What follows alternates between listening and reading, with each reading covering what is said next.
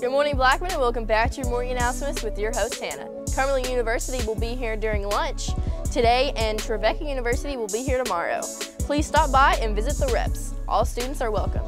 Sketch It Up is selling Zaxby's today and also Friday. Go get yourself some chicken and a cookie. Equality, Equality Club is meeting today in C12 until 4.30. Jostens will also be here today during lunch to take orders for letterman jackets.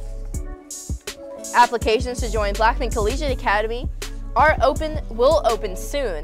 If you are interested, please plan to attend the informational meeting with a parent on Monday, December 6th. See Mr. Smith with any questions.